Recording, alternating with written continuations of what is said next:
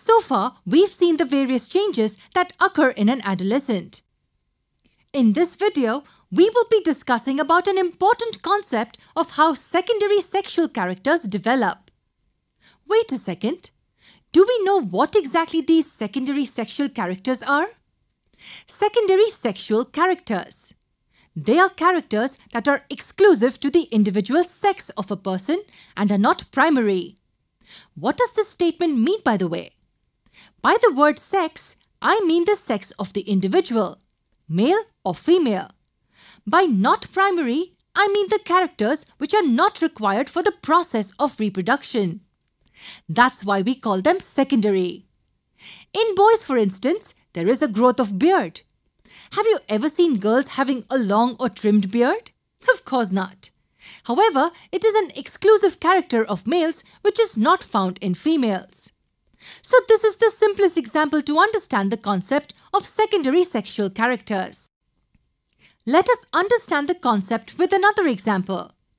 In case of females, one extremely important physical change during puberty is the enlargement of breasts. It is exclusively found in adolescent females. So, are there any other set of secondary sexual characters seen in males and females? Yes, of course. Apart from the growth of facial hair, the growth of hair on the chest, under the arms, and in the pubic region are other examples of secondary sexual characters.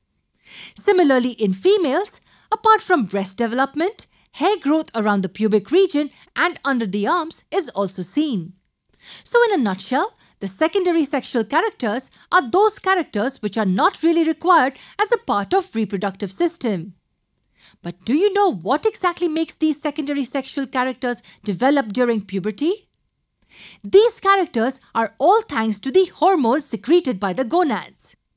Yes, hormones are the most important players in this process. The male gonads called testes secrete the male sex hormone called the testosterone. This is responsible for not only the development of the reproductive tissues, but also for the development of the secondary sexual characters in males. And the same is applicable to the female sex hormone called the estrogen secreted by the ovaries. It brings about the development of female reproductive tissues. At the same time, it takes up the responsibility of developing the secondary sexual characters in the female individuals. Who do you think controls the activities of these hormones in our body? The hormones regulate several processes, but who regulates the secretion of these hormones exactly? The mastermind to control all the hormonal secretions is the gland called the pituitary gland. Next, we will talk about these hormones, their major roles, and how they bring about all the necessary activities inside our body.